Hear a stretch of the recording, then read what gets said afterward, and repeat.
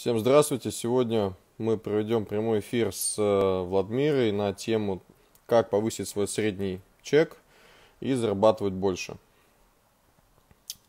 Сейчас я закреплю тему.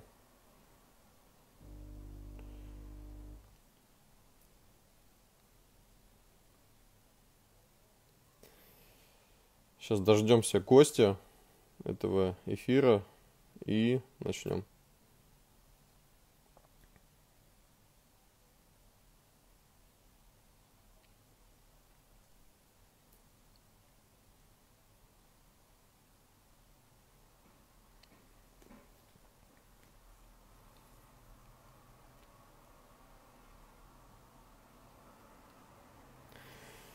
Для тех, кто присоединяется еще раз, мы сегодня а, с Владмирой, а, это психолог, коуч, который работает с миллионерами.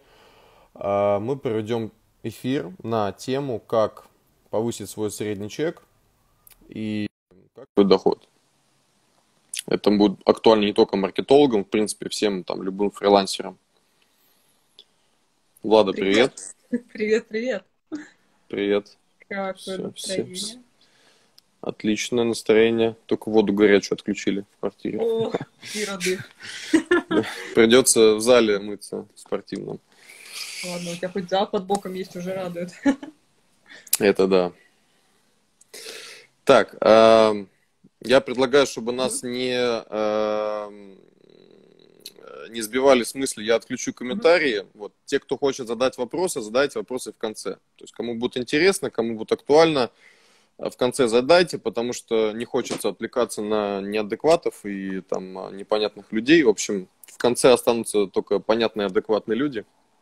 Надеюсь. Вот. А, да, давай а, представься, а, расскажи про себя, а, чем ты занимаешься, почему нужно тебя слушать. А, я наставник по трансформации мышления, помогла уже 120 людям только за два последних года выйти на доход более 1 миллиона рублей в месяц. Помогаю строить команды, которые делают действительно большие результаты, меняю мозги, скажем так, и помогаю людям реализовать глобальные цели через раскрытие потенциала и через а, изменение мозга, не побоюсь этого слова. Мы с Ладой, кстати, тоже работали, и она мне реально помогла, и на самом деле все люди, которые у меня в прямом эфире, это не случайные люди, и они прошли мой внутренний фильтр, а у меня очень жесткий фильтр. Вот, поэтому действительно Влада помогает, и кто занимается психологией, очень тонкий психолог, кто занимается эзотерикой, Влада тоже по этой теме очень активно изучает, продвигается, вот. И мы с ней вот на такой теме тоже вот сошлись, потому что мне и психология нравится, и эзотерика, и ну, не знаю, мы с ней как-то вот на одной волне. Родственные души, можно сказать. Да, родственные души, вот, поэтому сегодня мы будем вам помогать э, с темой того, как э, зарабатывать больше. А, тоже представлюсь, меня зовут Максим, я маркетолог, уже 10 лет этим занимаюсь. Э, среди кейсов это Тони Робинс, Аяс Шабудинов, артисты Black Star, Радислав Гандапас, Сколково, там компании различные. Вот недавно мы с ВТБ начали работать. А, свое агентство, вот. Э, ну и, соответственно, э, долгий путь от э, фрилансера до своего агентства. Вот, поэтому тоже не понаслышке понимаю, знаю вот эту боль, когда там, хочется зарабатывать больше, но не может. Да, вот поэтому сегодня будем это обсуждать. Да.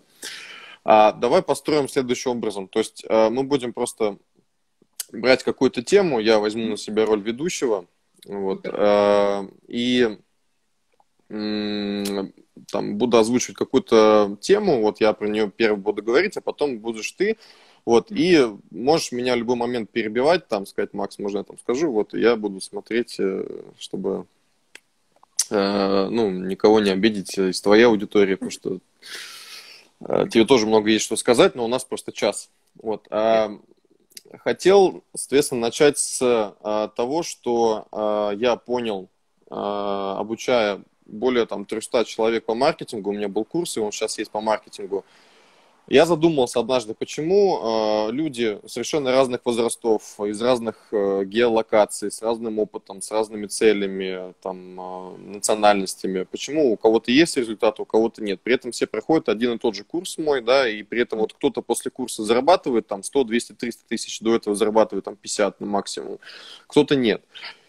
И я реально понял, что успех да, вот моя модель э, объяснения формулы успеха для фрилансеров, для людей, которые работают в услугах. Успех, он состоит из трех составляющих. Это э, психология, э, это инструменты, это система. А 90% людей, они почему-то думают, что важно изучать инструменты. То есть нужно ходить по мастер-классам, по вебинарам, изучать таргетинг, как настроить автоворонку, как запустить рекламу, как создать чат-бота, как автоматизировать, вот, и они в этом закапываются. И скупать и, соответственно... тренингов на эти темы, постоянно обрастая знаниями, пытаясь... Да, да, да.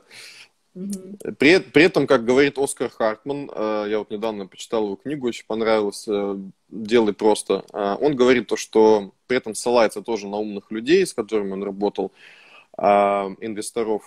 Он говорит то, что есть такой показатель, как индекс ре, реализации того, mm-hmm. что ты изучил. Да, то есть вот да, ты, да. скажем, наполнил свой мозг какой-то информацией, вот какой процент того, что ты узнал, ты реализовываешь, что вот ты применяешь. И у людей, как правило, которые не достигают результата, у них очень маленький этот индекс.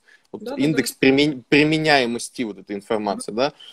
Дальше, что я понял, то, что э, ну, с системой понятно. То есть мы, ну, про систему можете почитать там Фридмана, там, из других там э, коучей там, на эту тему. Это все как бы менеджмент, лидерство, это понятно. Психология. Вот в психологии а, сам я тоже с этим столкнулся, как бы вот, а, когда, например, вот, ну, по себе скажу, да, вот у меня была куча проблем с, там, определенной категории клиентов, да, я с ними ругался просто, вот, и в какой-то момент я просто понял, и ты, да, и ты об этом знаешь, то, что ну, мне это мешало, это был мой стоп-фактор, потому что мне не позволяло это. То есть я, я крутой специалист, у меня крутой опыт, у меня классно работает голова. Но, блядь, извините за мат, как бы вот эта вот проблема с коммуникацией, да, вот проблема с каким-то, с моим, моими вот этими темами, которые меня э, выкидывали флешбеком там в прошлое, они не давали мне просто вот идти дальше, да, и у большинства людей, вот кто не может выйти там на уровень там x2, x3, там с, со 100 до 300, с 300 до миллиона, у них как раз вот эти затыки, которые просто не позволяют им выйти дальше.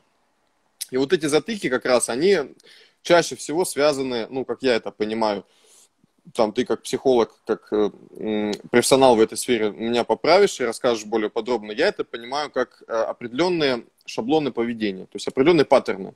То есть есть определенные какие-то правила, которые, по которым человек привык э, жить. Да? То есть, скажем, э, вот у него есть правило, я помогаю людям. И вот он берет и кучу бесплатных проектов. Типа, вот я всем помогаю. При этом и людям херово, потому что нельзя бесплатно нормально сделать. И ему хреново, да. И вот а он несчастный, и люди несчастные, все несчастливы. Да. Я сейчас тебе ставлю здесь 5 да. копеек, потому что здесь проблема в акценте. То есть, если человек набирает очень много проектов, и у него акцент на значимости, на то, чтобы его признали, на то, чтобы его похвалили и сказали, слушай, ты такой классный, ты такой молодец. И чаще всего там вообще же не про деньги. То есть человек вообще, не думая, заплатит ему за это или нет. Там вот фокус его внимания, он именно на том, чтобы его просто по голове погладили.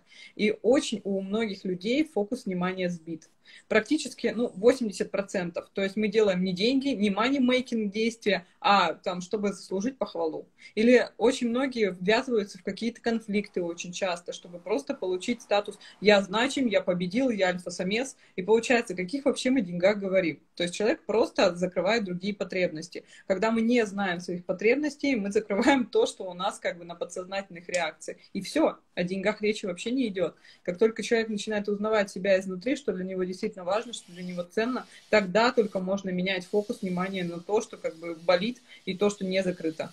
Вот такие моменты. А, в точку, в точку. Mm-hmm. Так, сейчас. Так. Нет, Максим не попал. Я на ЛТЕ просто переключился. Да. А, полностью с тобой согласен, потому что вот у меня, скажем, есть пять человек на личной работе, и когда мы с ними вроде бы начали общаться, у всех э, вроде типа а финансовые цели, задачи, да, типа зарабатывать 300 тысяч, зарабатывать миллион. Как только мы начинаем копать, вот скажем, вот у меня есть э, на работе личный, э, ну, назовем его условно там человек В, да, на букву В. Uh-huh. А, вот у него бизнес, а, он хочет вместо 300 тысяч зарабатывать 700. Как только мы начали копать, выяснилось, что он не идет зарабатывать 700 тысяч рублей, потому что 700 тысяч рублей, рост в X3 связан у него с отрицательными эмоциями. То есть отрицательные эмоции, так, такие как взять большую ответственность на себя, а, отвечать за сотрудников. Я начинаю с ним а, обсуждать. Я говорю, а почему у тебя а, ассоциация с, типа, взять на себя ответственность за сотрудников? Он говорит, ну ведь я же должен отвечать за их жизни. Я говорю, почему ты должен отвечать за их жизни? И в итоге выясняется, что он ведет себя как мама своим сотрудникам. То есть Конечно. не как руководитель, а берет на себя роль мамы. Я говорю, ну ты ж не мама, у них есть своя мама, зачем ты вот берешь на себя роль там, э, типа там, э, э поддержки, да, там, да, да, он такой задумался, такой, думаю, блин, реально. То есть мы, мы чаще всего еще, знаешь, вот путаем, ну, ты как бы знаешь, да, понятно. Роли. Я, да. да, роли. Мы путаем роли очень часто. То есть чаще всего э, в работе, когда вот мы не зарабатываем, э, будучи там, являясь основателем бизнеса, мы с партнерами, друзья, а не партнеры, мы с сотрудниками своими, мама, папа, там, да. или даже любовник, да, у кого-то, да, но мы Ой, занимаемся всем чем угодно, только не работаем, да. А еще, знаешь, самое интересное, когда к нам приходит клиент, и многие на этом погорают прям конкретно, потому что начинается смещение вот этих ролей. То есть человек сам приходит, например, за, за помощью к тебе, например, или ко мне, не чтобы решить задачу, а чтобы просто сходить, выговориться и чтобы его послушали. Конечно, он получает свою задачу, да, да, да, да, вот именно скрытый вот этот мотив он получает, если на это вести, да. То есть я очень много слышала обратной связи, когда ходят к психологам годами и не получают результата, зато mm-hmm. выговорились. И то есть люди, даже большие специалисты, они очень часто не чувствуют этих личных границ своих, да, и начинают вестись на игру клиента. И потом недоволен не клиент на самом деле, не специалист, потому что он не выполнил свою работу, ну, получается, не очень хороший специалист. И вот эта вот тема правильных ролей и понимать, кто ты со своим клиентом, это очень дорого стоит. И главное еще уметь правильно сбалансировать, чтобы клиенту показать это грамотно, да, и отстроиться, то есть не пойти на поводу, но и в то же время не задоминировать. Это прям, знаешь, такие очень четкие настройки, и отследить вообще, какой потаенный смысл несет клиент, и что он на самом деле хочет при помощи тебя реализовать, это, о, это такое интересное вообще действие на самом деле. Ну, благо мы с тобой этим обладаем. Да, и знаешь, я вот заметил реально то, что вот работа с разным количеством клиентов, вот если ты вот вроде бы хочешь как лучше и начинаешь с ним общаться плотнее, там чаще ему отвечать, mm-hmm. но это э, всегда работает в минус, потому что клиент начинает тебя воспринимать Опять же, не как партнера, не как подрядчика, не как да. вот работника, а как друга, брата, не знаю, там еще как да. свата, там дядю, папу, да. маму, там вот. И, соответственно, что происходит? Как ты правильно сказала, он на тебя начинает вешать свои ожидания от папы, мамы, брата, друга. То есть, э, что это значит? То, что ты должен ему будешь отвечать сразу, и ночью, и днем, и утром, и в выходные, mm-hmm. и делать скидку, и идти навстречу, и э, там ждать доплаты, потому что ты же брат, ты же должен, Конечно. ты же родственник мой, ты же типа должен войти в положение, у меня же денег-то нету, понимаешь? Вот, и, и, и как бы, как из этого выйти? Рамки. То есть ты вот тоже правильно говоришь, и об этом ты много рассказываешь, что, что нужно выстраивать правильно рамки между клиентом и, соответственно, собой. То есть нужно, я это называю правила игры. То есть mm-hmm. перед тем, как э, взять клиента, я не, тоже не сразу к этому пришел. Я оговариваю mm-hmm. правила игры. Я говорю, вот чтобы со мной поиграть в эту игру, то, что я маркетолог, а ты мой клиент, соответственно, ты должен мне заплатить эту сумму денег. Э, мы должны вести всю коммуникацию в WhatsApp. При yeah. этом коммуникация э, в рабочие дни – а при этом меня нельзя дергать, то есть доступ к моему телу, он очень ограничен. Есть вот у меня менеджер, через менеджера, пожалуйста, да, вот. Когда он принимает эти правила игры, все, все идет четко. Да, есть договор. Однозначно есть договор, да. по которому, если что, должно все соблюдаться. Еще самый интересный момент, что очень часто клиенты, приходя и заказывая услугу, даже у меня, перекладывают всю зону ответственности на тебя типа, ты теперь все знаешь, давай меня вези на своем горбе. Ну, как бы на чужой э, шее в рай не въехать, правда же? И очень часто, ну, меня как бы по первости это я тоже помню было, когда человек реально, то есть он думает, что если он ничего не делает, он просто пришел там на 8 консультаций, отбомбил, и можно лежать потолок плевать, и оно как бы, знаешь, как волшебная таблетка, само все почему-то прийти должно. Но это так не работает. Если ты не делаешь целевые действия, которые мы оговариваем, то есть ты же тоже даешь задание. Это сделай, это сделай, это сделаем. Потом посмотрим, что из этого получилось, докрутим стратегию и уже получаем результаты. А если М-м, какие классные действия. Ну, я их не буду делать.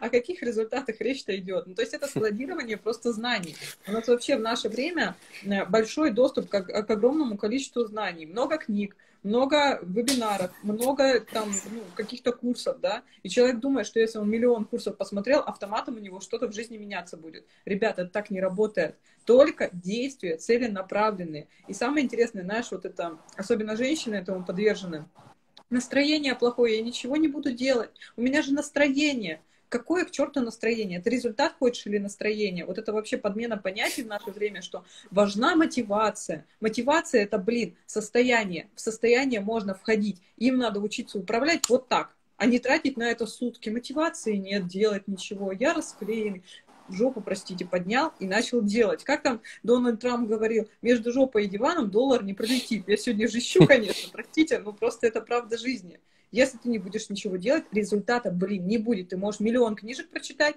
но Волсоны не там. Вот. Это как, э, знаешь, вот, э, э, блин, мысль была хорошая, потерял что-то мысль, надо найти мысль. По поводу делания, да, вот э, люди, когда приходят, а, вспомнил, да, вот у меня есть подруга, назовем ее на букву С, да, mm-hmm. тоже, чтобы не обижать. Мы однажды с ней, мы однажды с ней сидели в кафе, не, не сука, у нее имя есть на С. Вот, у нее, э, значит, э, были определенные проблемы личные, вот, и она ходила к психологу год, вот год ходила к психологу, мы с ней вот в кальяны сидим, когда я еще курил кальяны, вот, и она вот рассказывает то, что, типа, вот я хожу к психологу, я говорю, а сколько ты ему платишь? Говорит, 5 тысяч рублей за сеанс. Я говорю, охереть, то есть ты за год ему отдала там, ну, приличную сумму денег. Да, да, да. и, и я говорю, а что ты с ним прорабатываешь? Она говорит, ну вот у меня проблема с тем, что я, значит, э, вот у меня все отношения э, складываются таким образом, что я э, типа, вот хочу, чтобы обо мне заботились, да, mm-hmm. тут как о женщине, что я хочу себя чувствовать хрупкой, слабой, там, вот, э, и рядом со мной, чтобы был мужчина, он меня защищал, там, mm-hmm. оберегал. Но вот, блядь, и вот я заболела, и он мне даже таблеток не купил. И я, я говорю, вот, я говорю, С, я говорю, хочешь, я тебе вот сразу скажу, вот в чем проблема, вот, и mm-hmm. мне не надо платить 5000 рублей, просто кальян, за кальян заплати, как бы, mm-hmm. все. Он говорит, окей, я говорю, проблема в том, что ты не даешь мужчине раскрыться как мужчину, потому что ты ему показываешь то, что а, ты самодостаточна, угу. и тебе нахер никто не нужен. Угу. И вот как, как он тогда, как мужчина, может раскрыться рядом с тобой? Он такой, блядь, действительно. Но при этом после этого разговора, когда она поняла, что да, так и есть, у нее те же самые грабли, те же, сука, самые проблемы. То есть ей это надо на самом деле. То есть ей нужна такая ролевая модель, где она самодостаточная, там, классная, а от нее мужик соза- созависим, типа, да. Потому что, почему я это говорю, то что э, если какой-то шаблон поведения у вас повторяется, то мало его просто осознать. Важно да, как бы начать... Да, надо, надо менять, надо его э, поменять на что-то и целенаправленно, осознанно идти на смену паттерна. То есть вот у меня был паттерн, я э, работаю эффективно и расслабляюсь с кальянами. Я взял его, заменил на спорт. То есть mm-hmm. я каждый день по три часа занимаюсь спортом. Бокс, спорт, бег, все. И я там получаю ресурсное состояние, не от кальяна теперь. То есть я просто взял, заменил. Вот. И да. вот эту фишку нужно, опять же, э, как бы с психологом же прорабатывать. Потому что вот благо мы с тобой тоже общались на эти все разные темы это мне реально помогало. То есть даже будучи то, что я это могу понимать, все равно нужен человек со стороны, который это все скажет, то, что вот, Макс, у тебя тут затык. Там, mm-hmm. Я когда вот лежал в больнице, мне Владимир пишет, тебя, говорит, несет, Макс, не туда, давай там это. Меня, меняй тренд, что-то не туда тебя это понесло. Вот. Ну, в общем... Ну, я очень рад твоим результатам от всей души вообще прям. Спасибо, очень, спасибо. Слушай, ну вот про ту историю, которую ты рассказал, там интересная такая штука, что очень многие люди, они понимают, куда меняться. То есть они привыкли к своему mm-hmm. болоту, там все знакомо, там все лягушки, друзья, там, короче, все это понятно. А куда это непонятно. И выход из зоны комфорта это всегда дичайший стресс для мозга. И не, ну, вообще единицы могут пойти, отважиться и начать что-то менять, потому что страх это наши самые первобытные, считаю, инстинкты, это рептильная часть мозга, которая блокирует все напрочь. И там уже миллион отмазок, почему, в принципе, комфортно, что он ничего не делает, или там, что зарплата маленькая. А самое интересное, что чем человек дольше соглашается на вот такой стиль жизни, то есть, ну, ну как mm-hmm. сказать, ну, не самый лучший, скажем честно, да, это не самый позитивный такой момент, особенно когда денег меньше становится. И чем больше соглашается человек на этот упрощенный, скажем так, сценарий жизни, тем меньше у него становится ресурсов он каждый раз соглашается, ну окей, сегодня я там, например, ездила на машине с личным водителем, ну, вот денег нет, ну теперь просто на такси буду передвигаться. Потом э, с такси уже пересел человек на метро, а потом уже с метро э, шаговая доступность э, пешочком, потому что даже на метро нет. То есть ужимание себя, загоняние себя вот в это ограниченное состояние, заставляет вас соглашаться на меньшее. Если вы соглашаетесь на меньшее, то не думайте, что ваша жизнь будет такой замечательной, пряничной, шоколадной. Ну, нет. Очень хорошую тему ты затронул по поводу э, уровня нормы, да, это называется. Mm-hmm. То есть э, э, по поводу клиентов, да, вот у нас сегодня тема повышения среднего чека. Повышение mm-hmm. среднего чека, как, как я еще понимаю, это отношение прежде всего к себе. Конечно. Да, то есть за сколько ты готов себя продавать да. свое личное время. Да. То есть как ты себя сам оцениваешь? При этом ты можешь делать то же самое, что и человек, который продает в 10 раз дороже эту услугу. Да. Просто он себя так оценивает. Конечно. И люди соглашаются на это, потому что э, это как э, правила игры тоже. Это то, та же самая игра, как в Монополии. За сколько ты готов продать э, свою локацию? там синенького цвета. Кто-то, да. кто-то говорит, а давай так тебе отдам. И он думает, вот дурак, да, про себя этот тот человек, но при этом берет. Другой говорит, давай за полцены. А другой говорит, нет, я продам ее в пять раз дороже, потому что ты с этого много заработаешь. То есть это, опять же, э, зависит от того, как ты относишься к своему ресурсу и к этой сделке. Так, Влада, немного. Зайди еще раз, попробуй. Попробуй еще раз зайди. Так, я включу комментарии. Так, давайте посмотрим, есть ли какие-то комментарии. Так, Влада, я тебя жду. Там просто что-то подвисло. Так, пишите ваши вопросы по поводу того, что мы сейчас обсуждаем. Вот мы еще будем обсуждать где-то полчаса. Влада, заходи.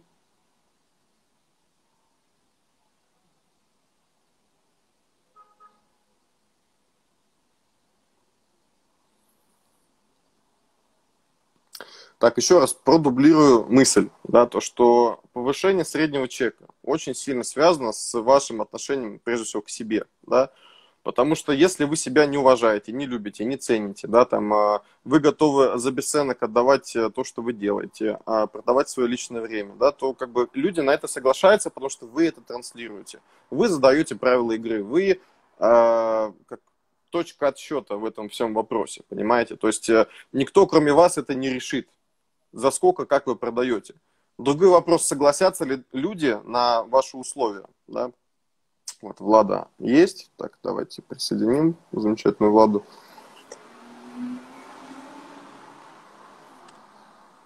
Привет. Радушно я вылетела напрочь. Да, бывает, бывает, бывает. Да.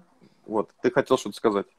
Да, я хотела тебе сказать, что это, да, это классная тема, что продавать себе дороже, это именно, ну, свои услуги дороже, это про степень позволения, но я бы здесь всегда не забывала про экологию, потому mm-hmm. что очень часто люди ставят заоблачные ценники, и за ними скрывается ноль вообще, там даже в минус что-то. Mm-hmm. Я за то, чтобы, знаешь, э, человек все-таки осознавал, и ставил не какие-то заоблачные просто космические ценники, а понимал, сколько он действительно отдает угу. насколько его знания действительно ценны. Я считаю, что рынок бы так гораздо ну, здоровее стал в целом, и люди бы вот эту, знаешь, завышенную самооценку свою проработали, потому что я встречала, когда действительно профессионалы, ну как они себя сами называют, не соответствуют действительности. Угу.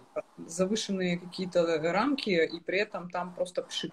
Поэтому я всегда за экологию при любых раскладах, чтобы, знаешь, людям, ну, позиция вин-вин, это вот прям моя вотчина, знаешь, такие голубые, бирюзовые эти компании и правильное позиционирование, когда все в выигрыше.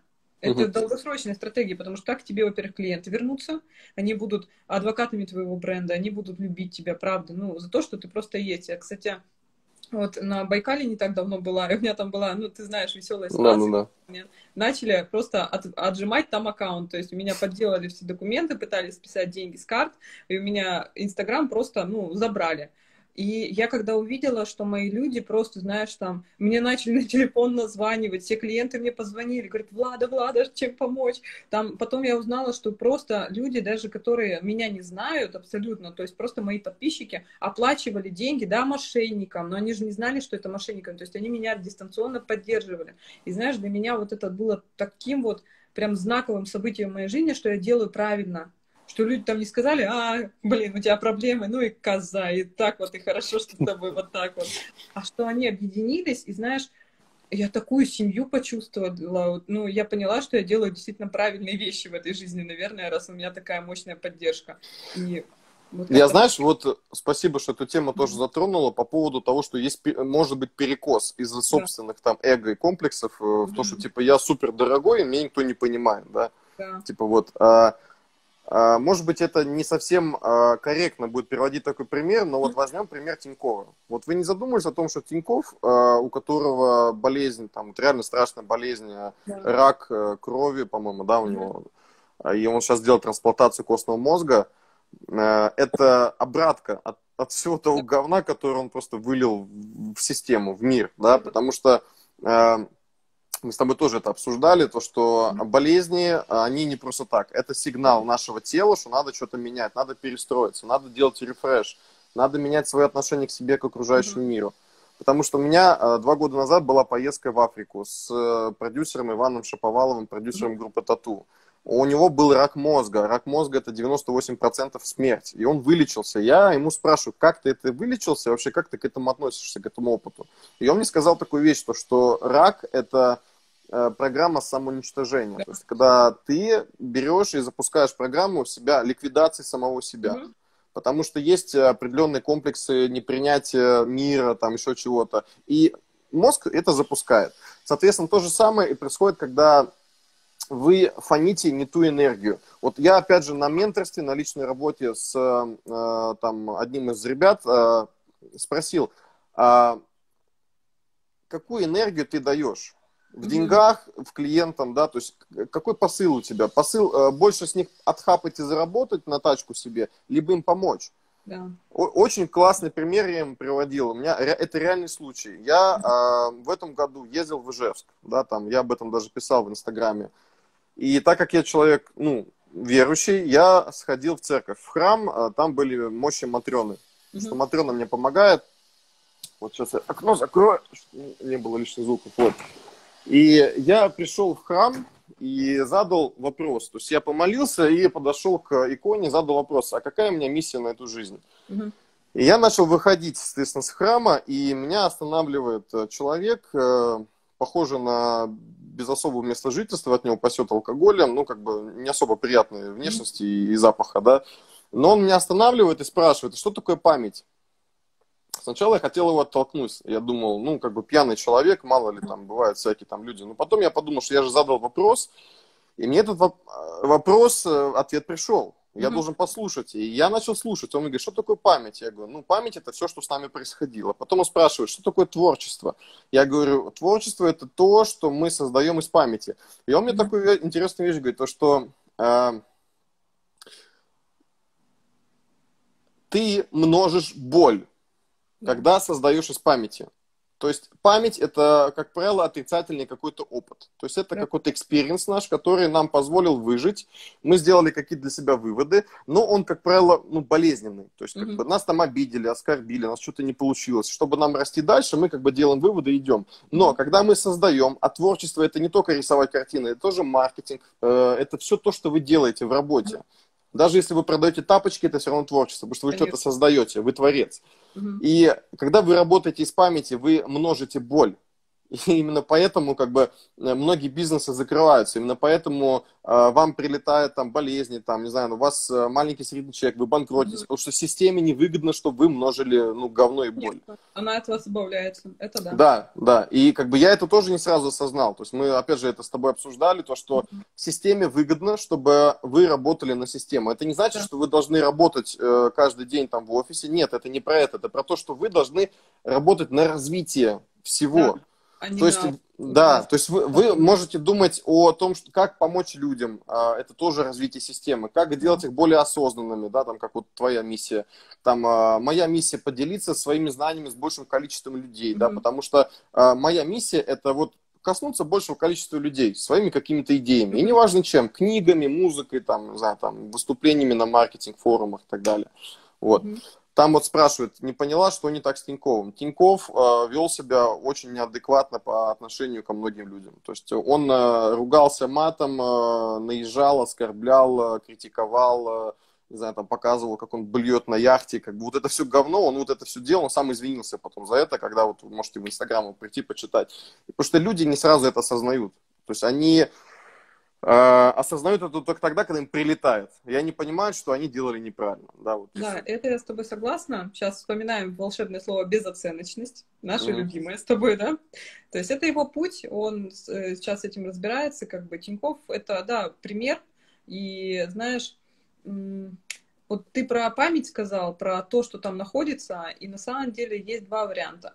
А, очень многие люди пытаются просто прикрыть это все салфеточкой и сказать, не-не-не, знаешь, это как бы вообще не со мной случилось, как бы я туда заглядывать не буду, это все равно, что заходить в дом, ты приходишь, например, в гости, да, и угу. там хозяин, прекрасный дом, очень красиво, все замечательно, и заходишь ты в ванную, а там э, смулая рыба, разлагающаяся, а ты подходишь угу. просто к хозяйке и там, или к хозяину, говоришь, слушайте, у вас там рыба, ну, как бы пахнет, уберите. Он говорит, какая рыба? Нет рыбы? Нет, вообще ничего. И то есть это все будет так, ну, двигаться дальше, то есть там потом разложение черви и прочее. И вот так вот у нас память наша работает. Если вы думаете, что там что-то вот такое осталось, и это вы не, оттуда не уберете, оно как-то само рассосется, как там отвратительная фраза, память, это, время лечит, время не лечит. Оно только загнивать там еще больше дает. То есть возвращаться обязательно надо. Второй момент, что у нас люди очень любят копаться бесконечно в своей памяти. То есть вместо того, чтобы один раз проработать качественно, это тоже психологов, знаешь, затрагивает, что многие паразитируют на этом, когда давай еще раз проработаем, и еще раз проработаем, и еще раз проработаем. На самом деле качественные проработки, это, знаешь, если очень болезненные э, такие моменты, ну, можно два часа потратить, ну, три часа на это потратить. Но в основном все эмоции, они очень быстро улетучиваются. Там скорость работы быстрая, там можно это все раскопать вообще за час, за два.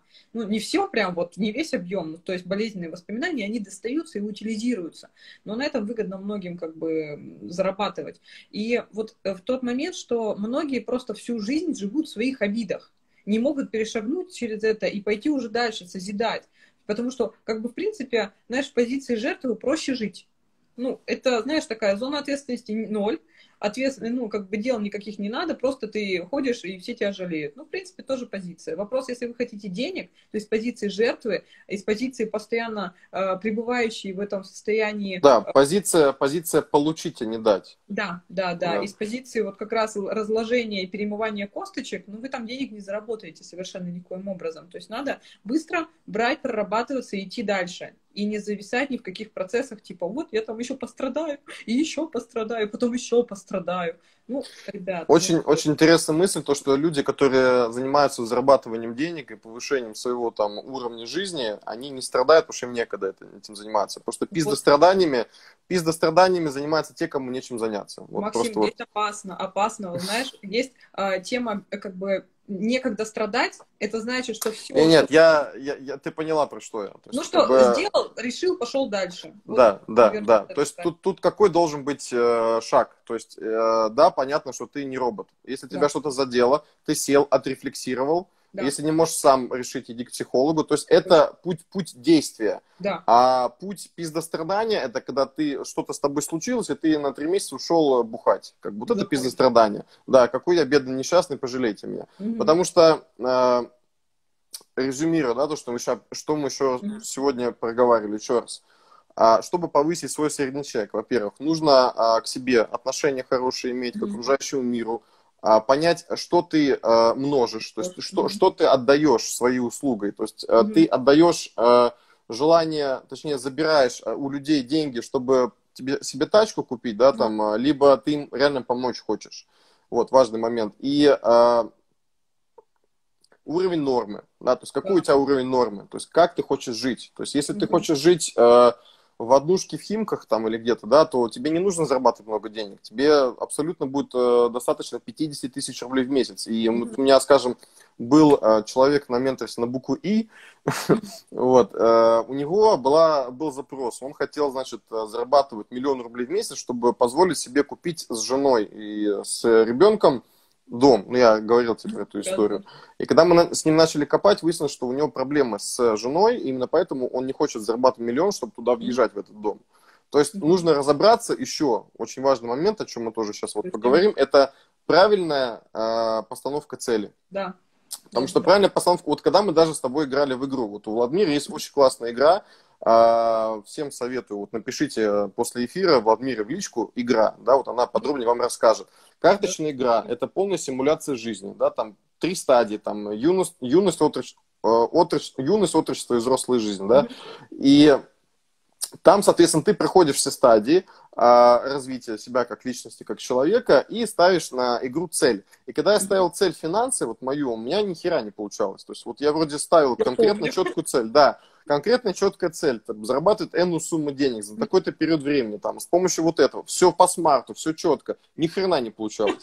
При этом, при этом я работал с пятью людьми, там сидел за столом, и меня как будто все, блин, гнобили, захерачивали, и вообще ничего не... При этом, при этом я по игре там поделился со всеми ресурсами, помнишь, да, и как бы, и все равно ни хрена не получалось. Как только у меня произошло обнуление, то есть вот там есть такая карта, типа полностью обнуляет твою цель, все твои карточки, я думаю, блядь, поставлю-ка я себе новую цель. Новая цель у меня будет связана с э, тем, что я хочу саморазвиваться и помогать людям. То есть вот множить свою помощь людям, то есть свои знания. Все, у меня как по маслу все поперло. И при этом очень интересный момент, что когда я, чем большему количеству людей я помогу, тем больше я заработаю. Потому что, ну, понятно, что я не альтруист, я же не монах, чтобы там бесплатно всем помогать. Конечно. То есть, получается, конечно, то есть, получается, у меня финансы это как бонус. Да. Но при этом моя цель вообще не была связана с финансами. Конечно. Вот тоже очень важный момент.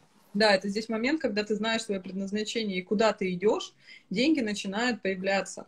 Потому что если ты просто вот как бы нахапать и просто ради накопительства, то здесь о каких вообще деньгах речь идет? Ну да, нахапаешься, потом только ты этими деньгами будешь платить за посаженное здоровье, за посаженные отношения и там, не знаю, покупать друзей просто, чтобы они хоть где-то были. То есть надо понимать, куда ты идешь в перспективе, для чего ты вообще, ну, условно, я не знаю, там, кто во что верит, да, ну ладно, появился в этом теле на этой планете.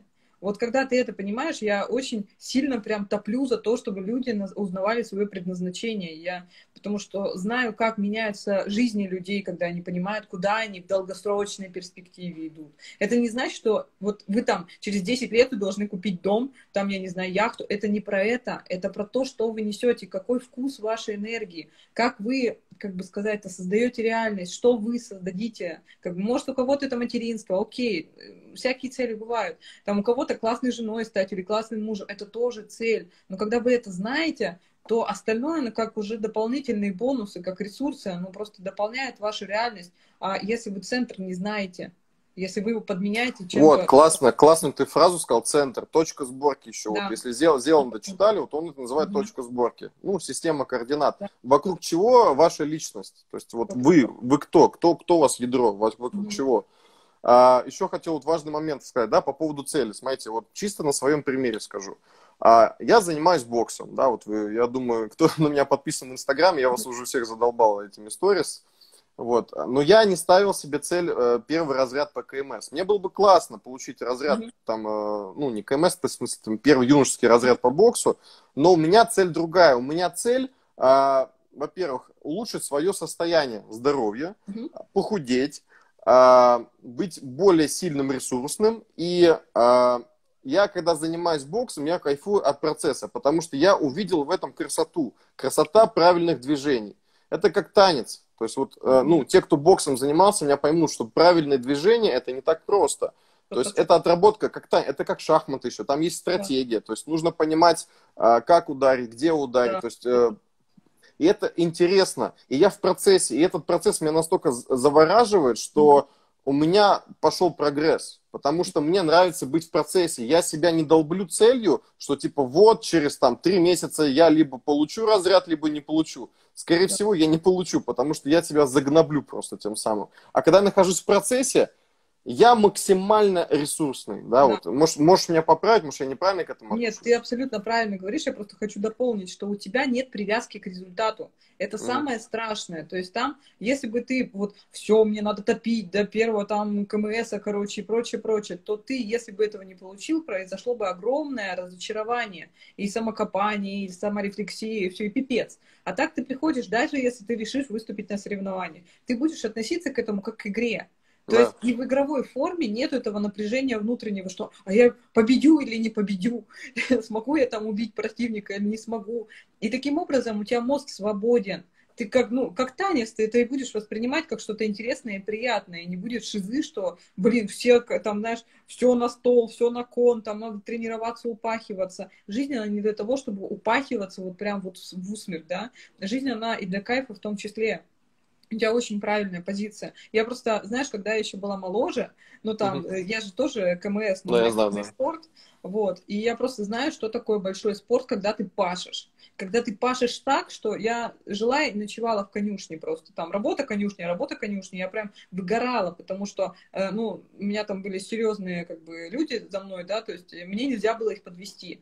И mm. реально каждая, ну, там, даже если я занимала второе место, я в основном я первое занимала, но вдруг это был такой плевок в душу, знаешь, я от, от этого столько времени отходила, и уже кайф терялся. Я потом просто перешла, когда мои лошадки, я люблю моих лошадок, захочу выступлю, захочу не выступлю. То есть, как бы, знаешь, цель поменялась. И вот тогда кайф пошел реальный. когда вот а, знаешь, деньги ради денег, жизни ради того, чтобы достигать, победить. Я очень много... Да, ты упахиваешься, у, у, этот, усираешься. Я, я еще эту технику называю, вот я ее придумал, называю ее эквалайзер, я ее назвал. Да.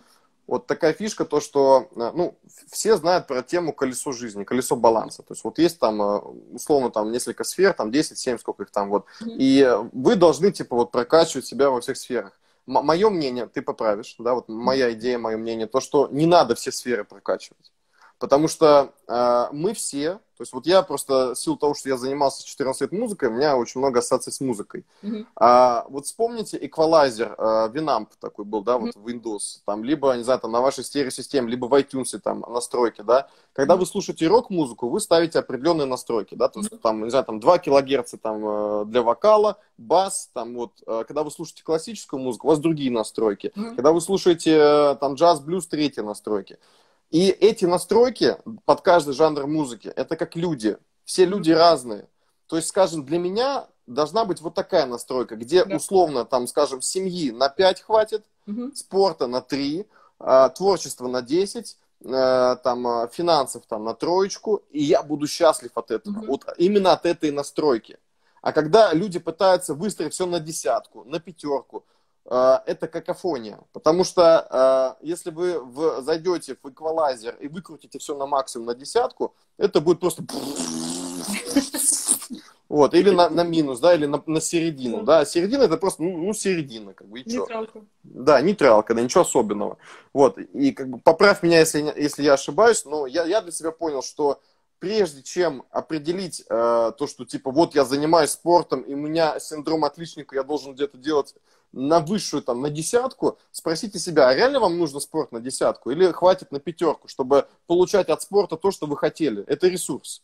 Я получаю от спорта ресурс. Если бы я ухерачивался на десятку в боксе, я бы ходил уже с фингалами, со сломанным пальцем. И нахера оно мне надо? Там, зуб мне бы выбили, да, как бы вот зачем, зачем оно мне надо? А я могу, поверьте мне, я, я очень горячий я очень горячий парень, я люблю драться, правда, мне по кайфу это. Ну а зачем мне оно надо? Я, я эту энергию лучше в бизнес пущу, понимаете? Вот. Поправь меня, если я не прав.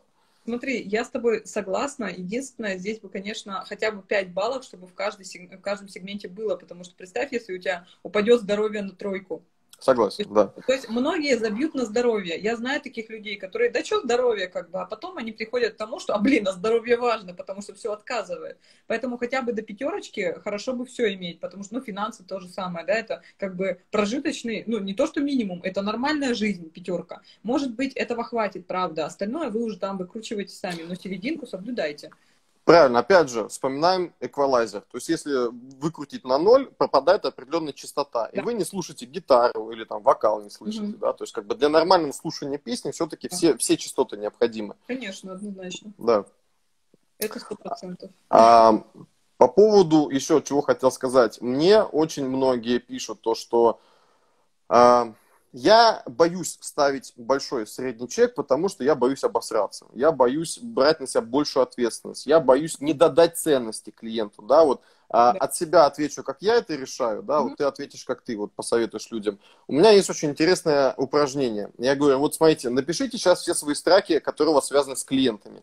Они пишут там, боюсь не додать ценности, боюсь э, не доделать, боюсь э, там еще чего-то. А, а потом я говорю, замените слово клиент на слово секс. И получается, я, я боюсь в сексе не додать, я боюсь в сексе там, э, это, там что, что клиенту не понравится, я боюсь в сексе там, то есть это глупо, потому что э, понятное дело, что первый секс, он был не идеальный, он был ну, вот как получилось, но с каждым разом, э, так как это биологическая потребность, мы его делали лучше и лучше, то же самое с клиентами. То есть, э, ну, глупо сказать, типа, я, я не занимаюсь сексом, потому что я боюсь не додать в сексе. Да, ну глупо же звучит. Или я, я, не занимаюсь сек, я не занимаюсь сексом, потому что есть люди другие, которые занимаются сексом лучше меня. Да, как бы, и, и думаешь, думаешь, насколько это идиотизм, ну, как бы идиотски звучит. Или, или я, я, я боюсь заниматься сексом, потому что я боюсь, что мой партнер не кончит. Как бы, ну, как бы, ну да, бывает такое. Да, то есть, понимаешь, вот я, я так вот решаю, да, таким вот э, шу, шу, шутеечкой такой вот, да. Слушай, как, как, как ты можешь поработать это, да? Слушай, это гениально, гениально просто. Это правда, я в восторге от этой техники. Спасибо, спасибо. тебе огромное. Мы идем, ну, в моей работе мы идем навстречу страхам. То есть угу. прям проживаем их, что будет самого страшного. И потом народ понимает, что на самом деле страха-то нет либо ты постоянно будешь в этом состоянии, а вдруг, а вдруг, а вдруг, либо ты один раз посмотришь на страх в глаза, и тогда уже как бы ты можешь с ним работать на самом деле. Угу. И вот из моей практики большее количество народа боится обратной связи боится mm-hmm. разочароваться в себе, а там же сразу а, потеря лица идет, потеря статуса, а еще наш клиент это сразу автоматом перенос на маму или на папу, там кого боится человек э, разочаровать, и там такие концепции, и вместо того, чтобы просто сделать простое действие, там миллиард концепций, почему, блин, нельзя. И можно, конечно, долго-долго придуриться с этим, ну, прям вот страдать там, решать это все, а можно просто один раз сделать через обычные действия банальные. Взял, сделал, взял, сделал. Чем дольше ты откладываешь какое-либо действие, тем больше у тебя появляется концепции, почему, блин, это не надо делать, или почему это надо делать по-другому. Поэтому вот пришла мысль, вот сразу делайте, реализуйте, докручивайте потом в процессе, потому что, ну, как там замечательно, лучше один раз вовремя, чем сто раз правильно. Вот Резюм, резюмируя, то есть как побороть страх, э, поставить больше средний чек и попросить за свои услуги больше? Или начать работать с крупным клиентом? Mm-hmm. Да. А, либо посмеяться над этим, либо mm-hmm. пойти навстречу этому страху. Еще есть у меня другая методика, я называю ее туалет. Да, вот у меня почему-то с туалетной тематикой все связано. туалет, прям твое. Да, это мое. По Эрику Берну есть, есть просто три типа личности. Там, типа, вагинальные, ора... нет, оральные, уретральные и анальные. Вот я, да. видимо, анальный, да. Вот.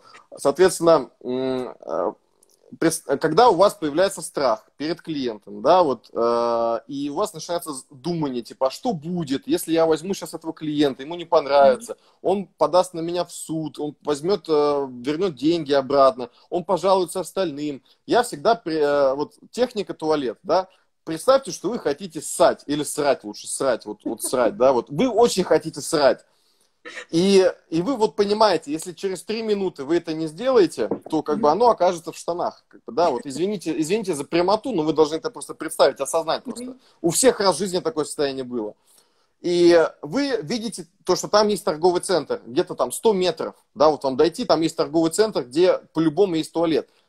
Вы же не задумываетесь, так, идти мне в этот торговый центр, а вдруг там нет бумаги, а какого цвета там бумага, а какого вкуса там бумага, а если там, а если там очередь, а на каком этаже туалет, а добегу ли я, да, вы просто, блядь, бежите, потому что вы хотите срать, техника срать, техника туалет, вот, поэтому, то есть вы вместо того, чтобы думать, себя останавливать, вы просто бежите, делаете, и по ходу действия решаете все свои проблемы. Да, там может оказаться очередь, но вы же можете сразу, сориен... да, вы можете сориентироваться, и в силу своих коммуникационных качеств, либо того, что вы боксер, можете э, решить проблему с очередью. Если там нет э, туалетной бумаги, опять же, дипломатия и комму- коммуникация. Постучать э, в соседнюю дверку и сказать, братан, дай бумагу, понимаешь? Либо еще что-то придумать. Всегда можно найти выход по делу. Но представьте себе, если бы вы поступали так же, как с клиентами. Вы бы стояли, думали, и вы бы обосрались в штаны. Вот так делают большинство людей, которые вместо того, чтобы делать, они думают. Да, вот. Максим, тебе я понимала, зачем ты на бокс ходишь. Точно набежать. Я, да, я, я, я, я на бокс хожу, чтобы чуть что я знал, что я могу вместо слов перейти к действию. Да, поэтому это как бы очень помогает. Да. Ой, гениально, я тебя обожаю, правда. Спасибо, спасибо. Взаимно, взаимно. Вообще шикарный эфир, по-моему. И народу просто настроение поднимем. И все, что надо скажем. Да. Красава. Вот. Да. Это да, это я с тобой абсолютно согласна, просто на миллион процентов, что надо просто действовать. Думать будете после того, как сделали. Потому что слишком много вообще всем этим концепциям отдают времени, пространства и сил люди. А вместо этого кто-то уже пожинает ваши результаты. Сто процентов у вас были мысли, вот, которые надо было когда-то воплотить. Потом смотришь, уже 20 лет прошло, уже кто-то это воплотил, и бабки делает на этом, а... Да, да, да, да, да. Поздняк, поздняк. Вот. Я всем посоветую, да, вот от меня, вот тем mm-hmm. людям, которые боятся зарабатывать, которые боятся брать больший средний чек, я вам посоветую почитать книгу э, Абрамовича и Березовского, да, потому что у них очень умные мысли есть. Одна из, этой, из этих умных мыслей такова, что м- потерял мысль, прикинь, только что была. Так, что же говорил Абрамович? А, Бывает и такое. Блин, прикинь, прикинь, реально вылетела мысль. Короче, короче почитайте Березовского Абрамовича, вот mm-hmm. у них вот автобиографии есть, они писали. Mm-hmm. А, бля, вылетел. Давай ты, давай ты начни, а я вспомню. Там, что ты посоветуешь, какие книги там, что почитать, посмотреть? А я пытаюсь что почитать? Вспомнить. Мою книгу почитать на самом деле. Я сегодня буду нескромная, у меня как раз новый тираж вышел, сейчас я ее покажу. Вот моя книга «Хозяин жизни», потому что угу. там по полочкам прям я рассказываю по ступеням и про предназначение, и про то, как финансы увеличить, как со страхами работать. И еще прям очень много глав, в которых каждая глава «берись и делай». То есть, если хотите начать делать, пожалуйста, вот она, вот у меня прям сейчас тираж новенький, поэтому успевайте заказать, буквально через пару дней она будет у вас, вы можете уже начать целевые действия по улучшению ваших результатов. Зачем откладывать дальний ящик, то, что можно сделать уже сегодня? Вот, поэтому сегодня я буду нескромный, простите. Это, у меня прям это отсылка на этот, э, наш, как будто ты по телевизору это рассказала, там такая бегущая строка, типа, закажите книгу. Такое тоже может быть, да. Да. Вспомнил, что хотел сказать. У Абрамовича есть очень, и Березовского, есть очень интересная отсылка на... Они отсылаются на Иван Дурак, они это называют. То есть вот э, они говорят, вот э, в бизнесе есть куча аналитиков, которые сидят и анализируют рынок, э, просчитывают показатели, значит, на это тратятся миллионы долларов, там, а запускать, не запускать бизнес. А тут появляется Иван Дурак, который, не зная всех э, конъюнктур, всех там анализов рынка, там, э, емкости и так далее, просто берет, запускает и получается. И все крутят и скажут, блядь, да он дурак, он сейчас обосрется, а он не обсирается. То есть они говорят, та, они, да, они говорят, там капкан, ты в нем попадешь, он не попадает. И все говорят, да, ему повезло. Нет, ему не повезло, просто он делал. Он вместо того, чтобы сидеть и надрачивать себе мозг, он просто делал, и все. Поэтому самая лучшая методика, да, вот, которая всем поможет абсолютно. Сколько бы вы ни зарабатывали, просто идите делайте. Да. Если вам не хватает денег, просто повысьте свой средний чек, и будь что будет. Не будет у вас клиентов, ну, блин, ну, понизите. Что, понизить, не повысить, понимаете? Это, точно. Да. Это однозначно. А самое интересное еще там, вот ты как раз про мышление дурака сказал, у него просто нет идей, что у него не получится. Да, да, да. Вот рефлексия там отсутствует. Но и самое интересное, это еще спасибо, наверное, родителям. И есть, правда, такие люди, знаешь, у которых, правда, все прокатывает. Вот правда, у них просто как по массу все проходит. Просто потому, что нет вот этой вот а, жесткой концепции. Знаешь, иногда умно-бедный фраза такая, да, когда человек слишком много на обдумывание, слишком много, а потому что не получится, и он сам притягивает, начинает эти самые страхи. А они начинают да. в жизни... Я, опять же, я опять же это сравню с сексом. Да, вот у меня все сравнения такие, они очень запоминающиеся. Вот вы когда занимаетесь сексом, вы же не думаете, так, под каким углом вставить? А так, а, а что она сейчас почувствует, да? А с какой скоростью это делать? Вы же это, понимаете, если вы будете об этом задумываться, вам будет плохо, и ей будет плохо, да, и с точки зрения мужика говорю. Вы должны быть в процессе. Вот я же сегодня говорил про состояние потока в боксе, да? Вы, вы должны кайфовать от самого процесса, да? И как только вы начнете кайфовать от процесса предпринимательства, создания собственного бизнеса, там, не знаю, онлайн-курса, э, там, не знаю, там, э, услуги для клиента, вот mm-hmm. тогда будет хорошо и вам, и клиенту. А когда вы ставите себе амбициозно, в кавычках, цель заработать миллион рублей, ухерачиваетесь целый год, портите себе здоровье, портите отношения с девушкой, с женой там, своей, там, с, с родственниками, с друзьями, вот кому от этого хорошо? Никому.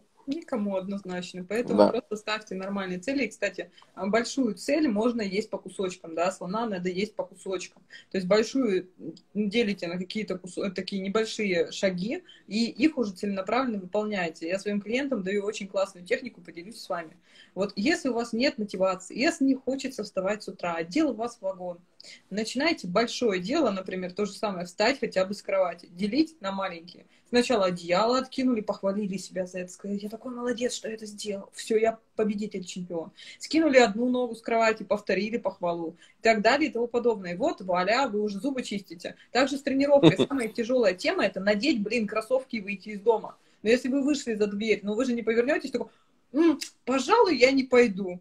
Ну, то есть вы уже все сделали, как бы уже нач- начали движение. Главное – начать, потом вы втянетесь первый раз, второй, третий, потом это уже цикличность приобретет. Поэтому вот простое действие, э, большое действие вы делите просто на маленькие кусочки, и будет вам замечательно все работать. Спасибо большое. А, у нас эфир подходит к концу.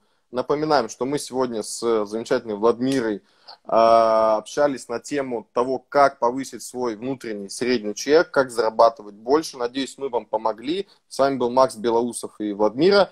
Если вы хотите, чтобы Владмира с вами поработала, да, там у нее есть э, там разные форматы работы, напишите ей в директ. А я прикреплю ссылочку обязательно на Владмиру, да. А если вы хотите поработать со мной, тоже ссылочка будет, да, там, а, значит, э, кто кому, точнее, кто кому ближе, да, там, либо я, либо Влада, да, вот, пожалуйста, обращайтесь, вот. А, надеюсь, мы вам помогли сегодня, было полезно, мы старались, мы отдали вам энергию, мы с вами сегодня веселились, э, там, обсуждали серьезные вещи. Вот. Как тебе вообще эфир? Слушай, огненный эфир, с тобой одно удовольствие просто работать, э, взаимодействовать, э, шикарно просто, мне кажется, мы с тобой подали контент, но я вижу просто еще комментарии, огонь, классно, поэтому я уверена, что людям тоже понравилось. И тебе спасибо за, знаешь, новые инсайты, новые мысли и такой заряд бодрости вообще шикарно. Благодарю тебя огромное. Тебе тоже такой, большое спасибо. Знаешь, вот один из а, глубоко уважаемых людей на нашем, скажем, медиа-рынке, к которым я действительно прислушаюсь, с которым действительно приятно коммуницировать. Прям спасибо, что ты есть, дорогой. Спасибо большое, спасибо. И спасибо всем, кто смотрел. Да, Все. Спасибо всем вам, пока. Всем пока.